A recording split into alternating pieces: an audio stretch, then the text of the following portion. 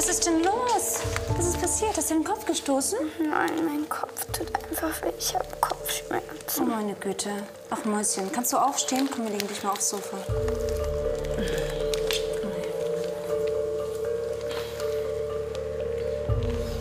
Ach, was machst du denn für Sachen?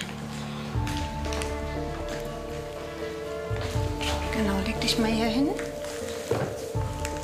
Willst du die Erbsen weiter auf dem Kopf behalten? Ja. Das sind jetzt schön. Moment, ich mach mal gerade auf, ja? Bleib mal gerade liegen. Die zehnjährige Anna leidet regelmäßig unter Kopfschmerzattacken. Trotz umfangreicher Untersuchungen fand Hausärztin Mathilda Gabriel bisher nicht heraus, was der Schülerin fehlt. Ah, Frau Dr. Gabriel. Hallo, Schön, dass guten Sie da Tag, sind. Frau Rüttgers. Hallo. Ja, ich bin jetzt gerade vorbeigekommen und dann dachte Ja. ich, ich komme mal und äh, wir besprechen die Befunde. Das, das ist ein ganz gutes Timing. Anna Ja. geht's gerade echt total schlecht. Ich habe sie gerade hier in der Küche Ach, nee. gefunden. Ich habe mich gerade so erschrocken, als ich Anna auf dem Boden hab liegen sehen. Also sie hat in letzter Zeit immer Kopfschmerzen und Nackenschmerzen. Ja, und jetzt war schon mehrfach der Hausarzt da. Und ich war jetzt gerade so froh, dass sie auch in dem Moment gerade hier war. Sollen wir das kommt überlegen. Hat Sie, ich habe Ihnen doch das letzte Mal einen Schmerzsaft verschrieben, aber Ja, das habe ich auch alles gegeben. Aber- aber mir, mir ist auch schon aufgefallen, ne? Jetzt Ja. hat sie ja gerade auch so ein bisschen gezuckt. Genau. Also, dass sie irgendwie mit dem Nacken was Ja. hat. Sie greift sich auch ständig an den Nacken. Also, und wenn du in die Höhe guckst auch, geht das schwer? Ist das ein bisschen schwierig? okay, sie ist ja auch ständig mit, mit, am Handy dran. Ich weiß nicht, ob das jetzt irgendwie. Sie sagen es gerade, was ich so eine Vermutung hätte. Nicht? Okay. Ja, die Blutwerte waren alle in Ordnung. Und dann haben wir eben überlegt, woher die Kopfschmerzen kommen könnten, wenn es nicht organisch bedingt ist, ähm, ob vielleicht die Möglichkeit besteht, dass der Nacken steif und verspannt ist, weil sie immer gerne aufs Handy schaut. Das Thema Handy, das ist wirklich. Also, wir haben wirklich ständig Streit deswegen. Ich habe echt den Verdacht, dass sie süchtig ist. Tja, also da müssten wir mal überlegen, ob wir was ähm, anderes noch zu Rate ziehen könnten. Ich kenne da die Möglichkeit, ähm, psychologische Hilfe sich zu holen Okay. über die über sogenannte Familienhelfer und die, da kenne ich auch jemanden und den könnte ich Wirklich? Ihnen empfehlen.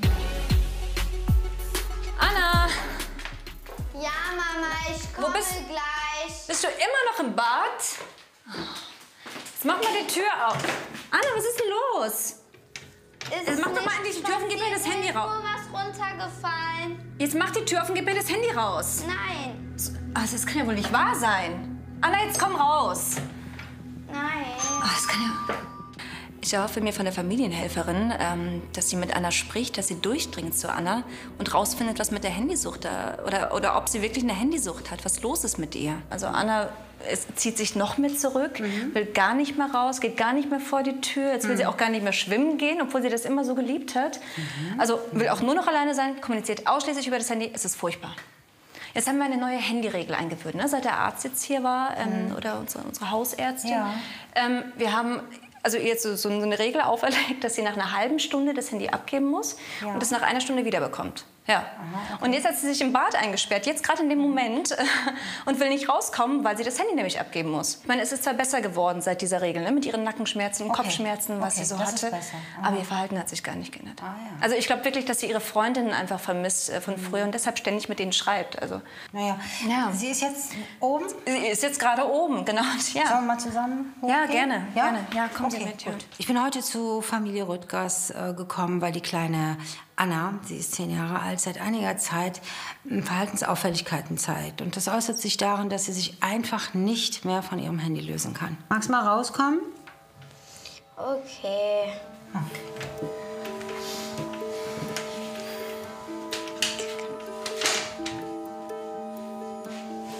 Hier, Mama, das war wichtig.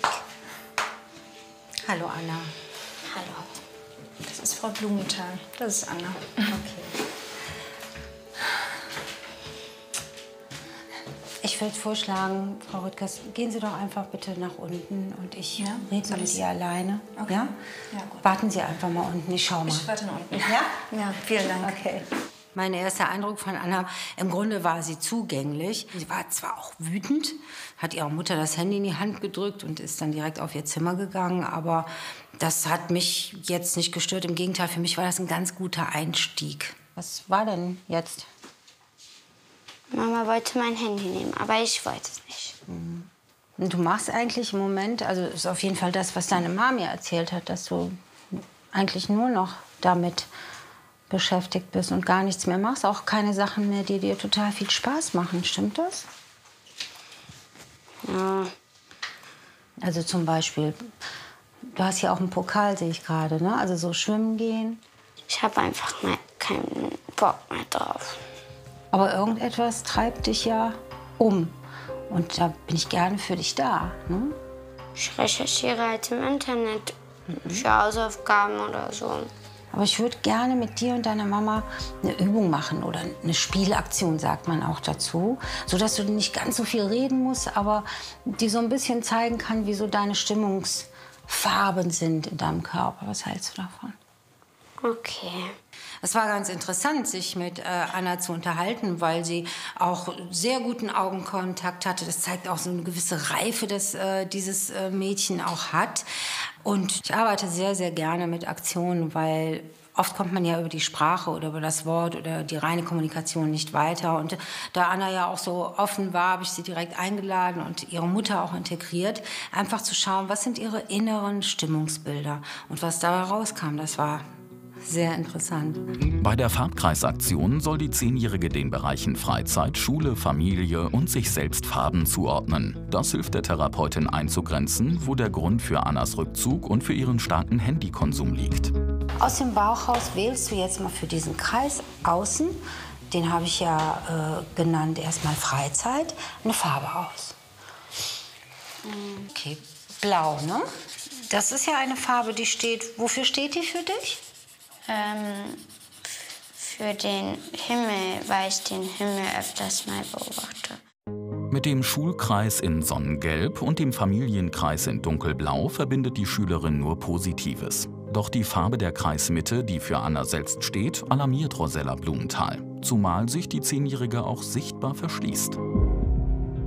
Warum wählst du Rot für dich? Ist es Gefahr?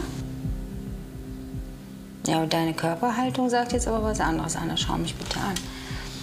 Warum wählst du Rot für dich? Ist dir irgendetwas widerfahren?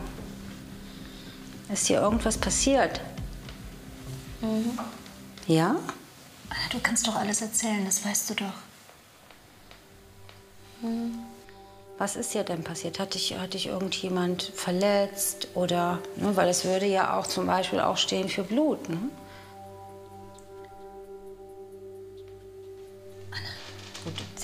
Ich, hast, hast du deine Rede bekommen? Ja. Ach, Mäuschen. Aber das kannst du doch erzählen. Wir haben doch drüber gesprochen. Anna hat Rot gewählt, tatsächlich, weil Rot auch für Blut steht. Und als ich das ausgesprochen habe, ist Anna direkt in eine Körperhaltung gegangen, die man so im, äh, implodieren nennt, in sich einsacken nennt. Da war für mich klar, da geht, äh, da geht es lang. Das hättest du doch sagen können. Ich dachte halt, ich wäre nicht normal, weil du gesagt hast, dass man das erst mit 13, 14 bekommt. Ja, aber das ist doch nicht schlimm. Du bist total normal. Es ist alles. Man kann es auch früher bekommen. Aber ich bin doch erst 10. Ach, Süße. Ist das auch der Grund, warum du nicht mehr ins Schwimmbad wolltest? Und ich, ja, okay. Jetzt, ja. Ja, jetzt, jetzt ja. macht das alles Ja. auch Sinn. Ja, jetzt macht das alles auch Sinn, ganz genau. Aber in welchem Zusammenhang steht das jetzt mit dem Handy? Ich habe halt ganz viel recherchiert darüber. Ja, das spricht dafür, dass du ja auch ein sehr aufgewecktes Mädchen bist. Und du wolltest dich informieren, ob das alles stimmt, ob das normal ist oder nicht. ich bin so froh, dass wir jetzt drüber gesprochen haben. Okay. Ja. Das ist überhaupt nichts Schlimmes. Ja. ja.